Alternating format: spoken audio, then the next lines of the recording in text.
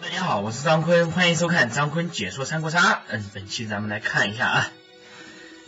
第一局的话，我们是六号位的大内奸啊，上来就一个大内奸，要杀的人就注定可能是吧比较多呀啥之类的。我们选择了观音瓶啊，观音瓶的话，应该来讲当内奸还挺多的。看一下这一局有没有。你看，就像观音瓶，你比如说一般的武将，他解决流氓，他至少他前期他解决不了，但是我们要去解决他，还真有办法，是不是？所以看这一局谁打工打的比较多啊？不行的话就自己来，扔他三身，挂一个装备，又挂一个装备，还可以，是不是？二号位徐胜的话，一个沈佳宜好像也卡不住他，大军在此，尔等休想前进一步。那么牌破掉了以后，再来一个决斗，应该来讲还是杀气挺重的啊。他把那个刀也给他破回去了，这样一来的话，倒不至于被借刀了。但是如果乐了孙权，收益就更大了，对不对？简雍的话，强行跳一中啊，强行跳一中，然后来个所谓的双决斗，然后呢，干赢了左慈，没干赢徐盛，自己砸一脚，也是挺可惜的啊。就是简雍他如果愿意当反贼的话，比如说他耗孙权一张牌。对不对？然后呢，决斗孙权再讹个坏还是不错的。蔡文姬他如果跳中打工属性应该还蛮强的，但是蔡文姬跳反贼了，好吧？蔡文姬跳反贼也就算了，这个香香跳一个忠臣，先说我当然是可以当中呀，我那啥来着是吧？火攻酿子唐老把它拆掉，然后丢一个闪电，相当于是非常低调了啊！你注意这个闪电它本身是可以血祭的啊，丢的是红牌，然后这个时候呢，我们是不是？还非常给反贼面子，结果这反贼呢根本就不需要给面子啊！说白了，反贼这个实力的话，我们是可以直接打他们的，没有问题啊，没有问题，打啊打就是了。然后先把这个能压的就压，压三滴血再说。我知道你肯定死不掉，就是没有陈情也有急救。我知道你肯定死不掉，压状态，对不对？简雍的话。比较香香如果没觉醒的话，他是可以补牌的。我说为什么他他是这样想的？他当一个大忠臣，孙权磕一个头，啪一下子状态就回起来了。那要不有些时候说光靠别人打工，可能还真不一定行。在这个简雍，你看他为了拼点，他拼没拼赢的话，锦囊不能用了，手上留一个乐，这不扯犊子吗？对不对？所以说啊，自己动手方能以弱胜强。来吧。这个你就拿一个乐拜拜吧，反正你也没有下一回合了，对不对？你也没下一回合了。好歹蔡文姬已经澄清过了啊，在孙权的回合澄清的。那么你看局势不就打开了吗？那么这个时候局势还是比较平稳、比较打开的。最大的难点可能在于孙权直接被反贼推掉。你要说反贼现在抽时间来打你，估计也抽不出来。对吧？他俩都打得到主攻的，所以说最大的难点在于孙权直接被推掉了。还有就是这个香香，看给孙权补牌呗，哎，就是这个意思。孙权赶紧吃桃子，你赶紧补牌。然后这个香香不知道会不会牵制我们，啥意思？他自己也觉醒，也搞成四血，也搞一堆装备。反正不管怎么样，我们有一点是稳的，稳定输出。哪怕你是刺猬牛，哪怕你带一堆防具。是不是？所以最大的难点还是孙权的问题啊！杀了他，也休想难对胸中之恨。对，非常非常的鬼玩。青龙刀就就是说借存的，就应该拿青龙刀追他，还装离开。其实你装不装离开，我们都是看中你这一滴血的啊。徐胜的话，如果两回合一张杀的话，孙权起逃的速度应该还蛮快。现在已经转化为我们打香香有多快的问题了啊，对不对？你之前可能说孙权直接被推掉，但是现在只有一个反击了。他徐胜如果单考虑杀的话，是两回合一张杀；考虑锦囊的话，反正主中方也快，并且也能来逃，所以现在就转化为三方博弈谁快了。比如我们先杀掉香香。然后呢，徐胜去磨一磨孙权的状态，然后孙权呢压一压内或者反的状态，我们就一起上了啊，我们就一起上了，全部磕了，对，不要存着，免得被搞走了，只有输了才是自己的。孙权已经不会被反对直接推掉了，对不对？哎呀，给劲了，给劲了啊，给劲倒是给劲了，千万别把孙权给我打死了，你压血我绝对赞成，别打死了，给我留一滴，对不对？我留一滴血就行。给孙权留一滴血就行啊！中中生有，扔他三声卖，说卖就卖。哎呀，这一个九杀如果收了他的话，那你就收了呗。那这个时候孙权他有一个恢复期，那么我们有稳，这我还说他有个恢复期啊，这恢复个鬼娃子。有藤甲的话，这还不用打了，过拆都不用用了，有没有过拆都无所谓了。有藤甲就凉血，凉血的话是吧？如果说我们不是这种稳定流输出啊，你想一下，咱们假设变成个四血白粉，孙权这个藤甲估计我们要哭一会儿，你信不？虽说有斧子有过拆，你看你这一下只能揣揣藤甲，然后呢，你你断杀了孙权，再回一轮看不能不能回个逃。哎呀，当然啊，稳定输出的强势就在于刚刚那种情况，甚至他带防具还带个藤甲的，他都是立马见血的。那么这一局的话，我们选择的是属于那种屌丝级的反贼，非常具有屌丝属性，但是呢，也不用过分的担心。场上呢有一个二张，它相当于如果是反贼的话，具有反贼头子的属性，并且呢还带一个元素。啊，元素的话切的主公当忠臣是非常给劲的啊！你比如说他黄天一个，再出一道杀，那就见雷了。对不对？天雷滚滚，你看天雷在此，你看那个给的那个伞还没用，红牌八的伞没用。教主的意思就是说，告诉忠臣，我还有伞，你们看吗？对不对？就是这么鼓舞士气，对他们来讲鼓舞士气。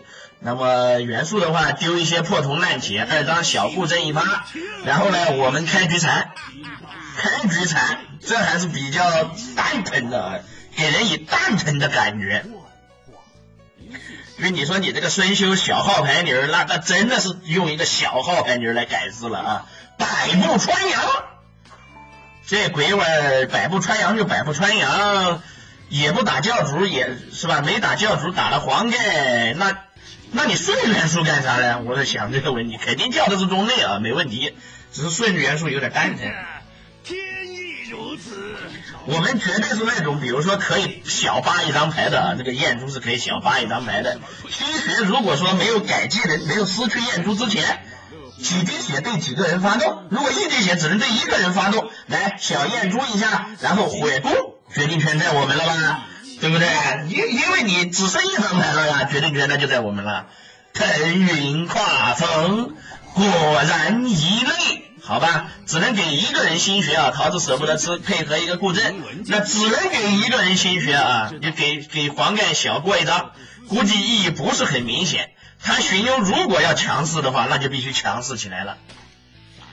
呼风唤雨，教主他缺的不是闪，缺的是出闪的机会。比如说谁杀他，谁换剑，对不对？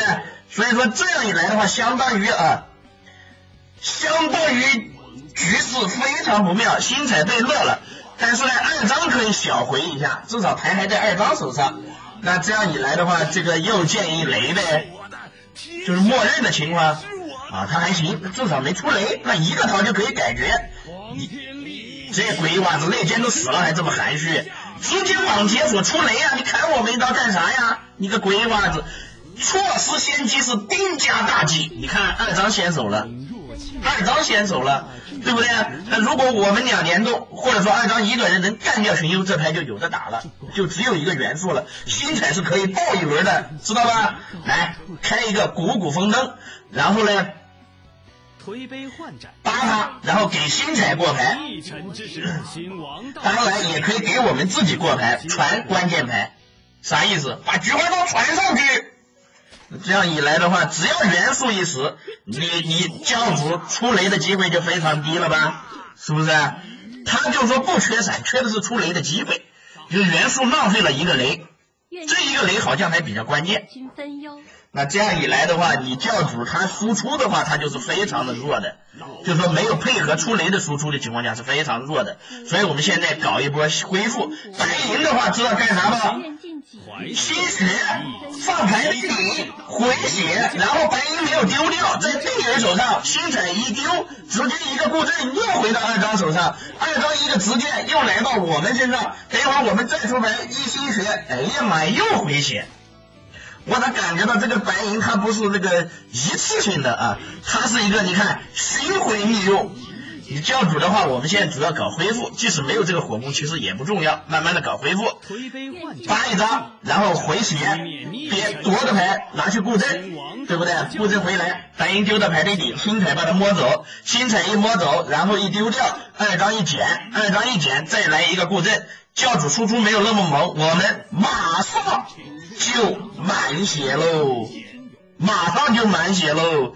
你看，再加上血越多，如果技能没验珠没失去的话，新学的人也多了，大家都来学习，是不是？一直学习，一直学习，慢慢过牌。你说那教主你们不敢杀呀？我有锦囊了，我就敢杀了吗？他反正输出不不不那个了，我这可以说已经大局已经打下来了。已经打下来了啊！前期可以说非常被动啊！你的二号位一个大功率啊，三号位一个内奸也有输出系的化身，可以说就是各种大功率啊！开局我们非常被动，甚至我们长时间内保持一血，但是最后打下来了啊！最后还真是打下来了。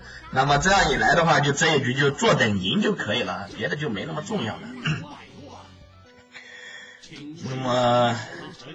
啊，反贼还是有斧子以后还是比较激进的方式做掉教主啊。其实你不激进，我觉得你赢的概率更大。你就无限的猥琐，无限的猥琐，他连星彩都打不死，你信不？是不是？又有防具，牌也比他多，你说他凭什么打死你呢？对不对？搞几个锦囊，他不就嗝屁了吗？好吧，那反正就是打过来了啊，打过来了，一个白银巡回利用还是比较爽的。那么这一局的话，我们看一下年兽啊，因为年兽的话就以非常多的新技能，也不完全介绍，就是说主要是给你们看，不是给我看，所以说呢，我就比如说点一下名字，这叫卯兔，对吧？地支啊，它这个是比如说兔年呐啥之类，丑牛，这是戊戌的戊还是戊戌的戌呀？必有道我单独我还不一定认得，但是我告诉你，如果做地支的话，绝对是戌，所以这是戌狗。好，就这三个人啊，就这三个人，他们这种生肖的话，有一个统一的技能叫瑞兽锁定技，他们只受到与他势力相同的角色造成的伤害。比如说，我们要对这个丑牛造成伤害的话，就是只有我们能对他造成伤害，当然，且他也只能对其造成伤害。当然，如果一名生肖死亡后，与该生肖势力相同的角色也能对你造成伤害。好的，这个就大概的看一下，这个这个，反正这三人肯定是有配合的。你比如说这个鲁肃跟这个孙权是新鲁组合，他这个鲁肃啊，从很早就跟喜欢跟人那个啊，手上是一个破酒就直接火杀了啊，你别拼点了，你拼点了，你这个忽视防具火杀就没用了。好了，那不就可以怼他了吗？可以怼他了啊，可以怼他了。因为丑牛已死，这个虚狗的话，我们怼了一下他，主要是有些时候他也有他的技能，都有瑞兽以外，他还有一个锁定技，红杀对他无效，看到没？但是我们是为了那个啊，为了啥呢？为了配合鲁肃的计谋啊。当然，如果我们能能杀死这个虚狗的话，我们获得一个传承。你杀死他的角色获得虚狗，就相当于我们到时候就有虚狗这个技能了啊！